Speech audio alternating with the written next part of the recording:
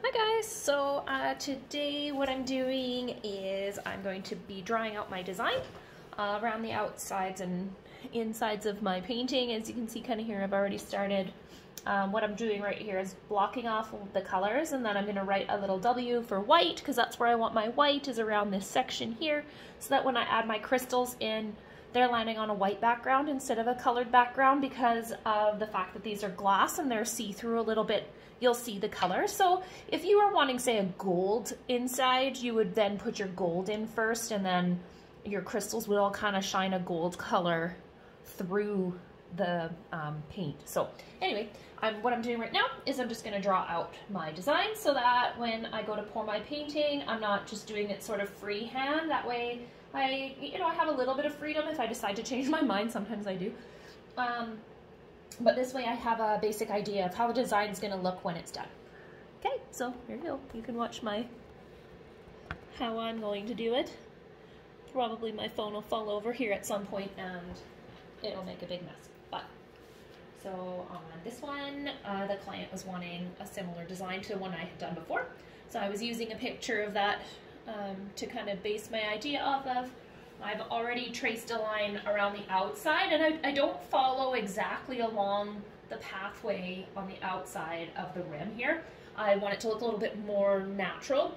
If you were to follow it too perfectly, it would just look kind of funny. So I've actually had spots where, if you can see here on the outside, there we go, um, on the outside rim right here, I'm not gonna follow the outside line on the inside, but also I'll come down here and maybe give it a little bit of a lower section so that this is out and it's not following it around. This is gonna be gray, so I'll probably actually do my light gray. So I'm just gonna put LG there for my light gray. And then I'll probably come along with a really thin line here of some dark gray just to kind of give that line um, a little extra something. And I won't, again, follow exactly perfectly along the line. I'm gonna kind of come out a little bit just to give it some interest but knowing that that's kind of where I want to end up at the end. So then I'm going to put a little DG, dark gray. Okay, so then I know that this is going to be white, light gray, dark gray. Uh, then I probably want to do a little bit of clear in here. Uh, so then I'll kind of leave a little section. And so I like to do the clear. I like to give a bit of a clear section and it actually kind of lets your, um, your color that sit beside it, so the dark gray in this case, it lets the color sort of flow out in towards the next color and it really gives a beautiful look. Um, and then it'll also, because I'm going to do another line of white right here, um, white really likes being next to the clear. That's where you can get some really cool cells or different looking streaks or anything inside the painting, which really, really looks kind of neat. So I'm just going to go ahead and add a section of white, which I'm going to do a little bit thicker because I know that I kind of want to have a dark color beside it.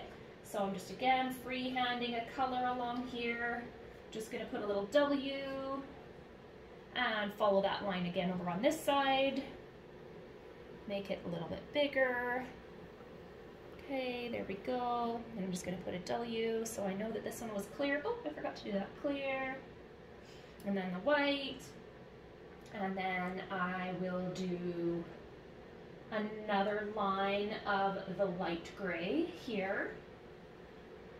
And now I've kind of changed up my design pattern a little bit. I'm kind of going quite a bit bigger, slower bumps in it so you have kind of a more natural flow. And I'm starting to kind of go towards what the pattern is on the outside line of my geode um, instead of just flowing on the inside. So in here, I'm gonna kind of trace the inside lines so they all kind of go this way, but towards the outside, I'm going to start following what the lines are on the outside.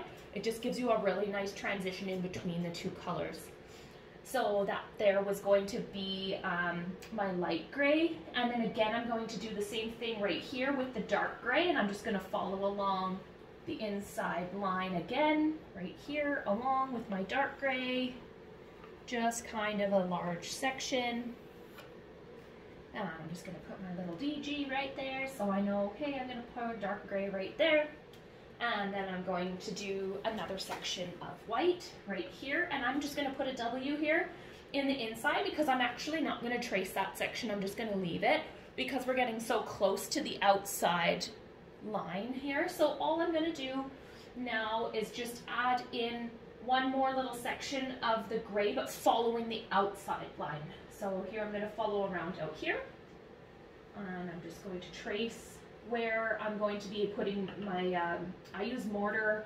Um, I know some people use foam, like a spray foam. Um, it's actually really awesome doing the spray foam because it's super lightweight and it gives you a really cool um, like bubbled effect that looks really natural.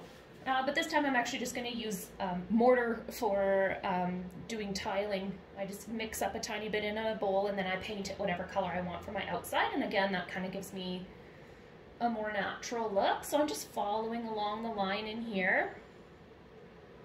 Just like so, all the way kind of around. Again, not doing a perfect tracing, just kind of giving myself a guideline of where I'm going to go. And then that's where I'm going to have my light gray. And then just gonna um, check out what I've got here for design. So what I can see right now is that I'm super happy with where this light gray is going on this section on, on this side over here, but I'm not happy with where it's going over here because I have one really large blank space right here. So what I'm gonna do now is I'm gonna bring this section that was the dark gray and actually bring it way out over here and kind of follow that outside line. I got a little carried away with the inside. So I'm just going to erase the line that I put here for the dark gray before. And this is why you do it this way. You use a little pencil. I just use my children's pencil crayons because, I don't know, they're just do what I have around. And then I'm going to follow again along here in this line that this is where my dark gray is going to be and I'm going to just take away a little bit on this inside line of my light gray just because I want to follow a little bit further out.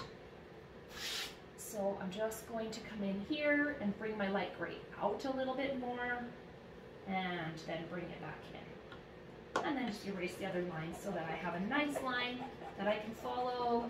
And again, they don't have to be perfect. It's just giving you a basic guideline. And if you change your mind while you're painting, that's okay too. I do that often while I have something traced out and then something will happen and it looks really good. So then I just stick with that. Um, but yeah, so basically what I have now is a completed idea of where my colors are going to be and my little symbols on here so that I know what colors I'm doing and where. So I know that this is white and I know this is light gray and that's light gray and I'm actually just going to follow it around writing little LGs and little Ws kind of all over.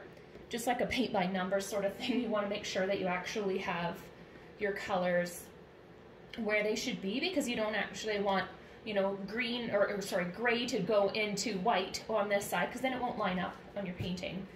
Um, and we don't want that. So this way, if you just kind of put your little W's for white here, and then, okay, this was a light gray, then I'm able to follow along my pattern. And, oh, I guess I better do the dark gray over here. Dark gray, and white, and light gray.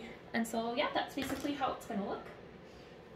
Um, here, I'll lift this up and see if you can't see the lines where I've done the designs there. You can see close up how I've followed around, given myself a guide to go by, and my little letters to help myself out.